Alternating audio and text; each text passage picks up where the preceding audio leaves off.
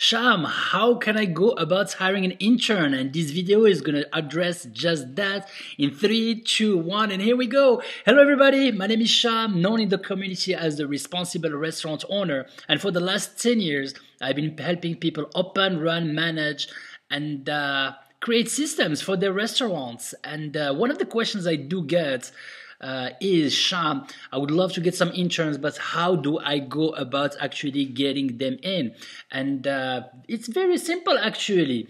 You know, most, first of all, you need to define who these interns are going to be you know um, do you want people from the hospitality school do you want students that are doing actually hospitality management studies those most of the time are going to be the ones that are going to be the more willing to come and do an internship. Now, something I want to clarify out there because lots of them, lots of restaurant owners come to me tell me, Sham, it's free labor. You know, I can come in and I can have somebody come and spend 100 hours, 200 hours, 300 hours sometimes and pay them zilch. And I disagree with that philosophy at all. An intern is not there in order to spend 200 hours doing your roll ups or doing things in order for you to save money on labor. You will save money on labor, that's for granted.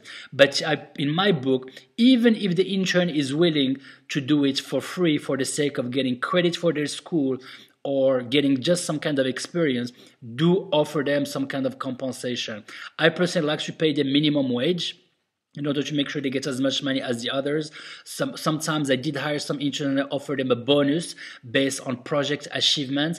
And you know, and the restaurant business offers such an exciting platform because it allows you to touch up on so many different fields on the marketing, on the management, on the information system, on the, I mean, there's so many different topics. So yes, lots of people go and think first, oh my gosh, I'm just going to have hospitality students. I'm going to have people that want to go to culinary school. Why don't you get some people from the marketing department, from the management department, from the information system, any single aspect of your business, you can go across the board and literally make a call to say, hey, I am looking for some interns that can come and help me do an evaluation, audit, and research research the market if I am up to date.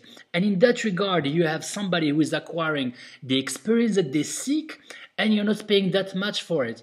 Do not hire interns just because it is free labor. I don't think it's fair to them from a, just from an ethical standpoint you also need to have a program for your intern. And uh, the best place to go and look for interns is just to reach out to the schools. It is amazing how many departments in the school are always seeking job placement because guess what? Nowadays the kids go to school and they have zero zilch kind of work experience related to their field. So internship for some majors is actually required. Now for you to be go out there and you know and get free interns it is not as easy it's not as easy to say as to do. Sorry for my english there.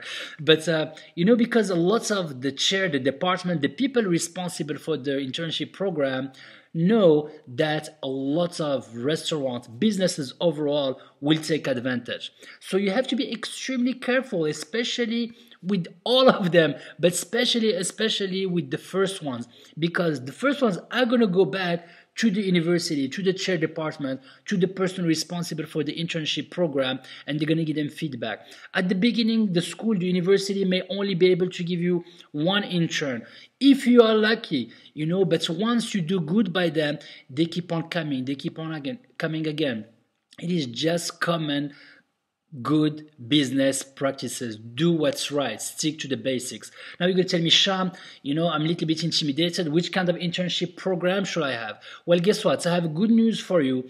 Down at the description of this email, of this uh, video, sorry, you should have a link where you can go and download for free a sample internship program that you are more than willing to copy, paste, put your logo on there. And that's, my friend, when you're going to be going to the hospitality school or any kind of department and tell them, hey, listen, I have an internship program based on the amounts of hours that you need.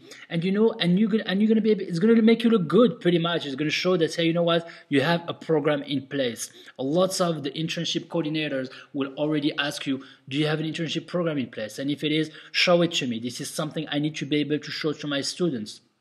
Now, uh, another thing that also I have done that was great for me is to connect with entrepreneurial uh, departments. You know, most schools nowadays have entrepreneurship uh, departments, and reaching out to them and you know talking to the departments and say, hey, you know what.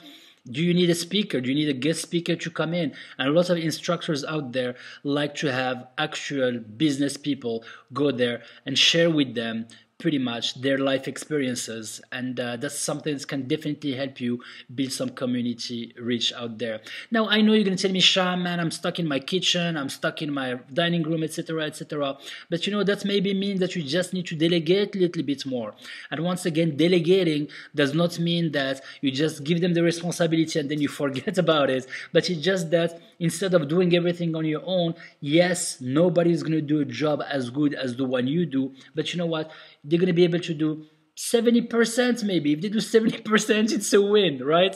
And uh, you know that should free up some time for you to do more business development uh, acquire more quality labor more quality employees build community network and just work on programs to get your restaurant full. You know lots of restaurant owners are guilty but also uh, a victim of working inside the restaurant. You know you always hear that work on your business not in your business. And you know lots of us when we start the restaurant we want to work in the restaurant you know because that's where the fun is you know we want that interaction etc but then you realize and gosh hey man it's a business you know i need to treat it as such. And for that you know being and waiting tables or working in the kitchen preparing food may not be the best return on your money based on your skills. Now you're gonna tell me, Sham, I don't I don't have any skills. I can't speak English that well. Well, guess what, my friend? I came to the US. I could not speak English for nada zilch. That's why I make so many mistakes on all these videos but you know you can learn little by little. Uh, it took me like 20 years to get here. But you know i was working like hard you know because it was an ego thing. I will come. People will not understand my accent. People will not understand my words. People will not understand my ideas. And it was very very frustrating. And actually it pushed me to actually excel do a little bit better. So step by step. And you know and if you have particular questions about that special segment of saying hey sham you know i'm a man of the kitchen. I can't get out on the floor. I don't like talking to people. There is options out there so shoot me a little message privately or on this page and you know what? I'm sure that the entire community can benefit from it. So that's pretty much my take on how you can go out there and get yourself an intern. You know, you can get interns once again. Do not stick to just hospitality school or hospitality management. You'll be amazed at how many kids out there are excited just to have an idea to be inside the restaurant. You know, personally, I really think as professionals, we have not done a very good job at promoting the hospitality industry as a serious and great career option. And I really do believe that we need to change that by being a little bit more professional, by caring more, and by literally having systems in place that are consistent and repeatable. So once again, that was Sham. The document once again is down below. I look forward to your comment. Do subscribe, do share. Uh, the more people are aware of that, the better of a community we can build together to your success. Remember, the secret ingredient is love. Check out my website, the responsible restaurant owner, and until we meet again.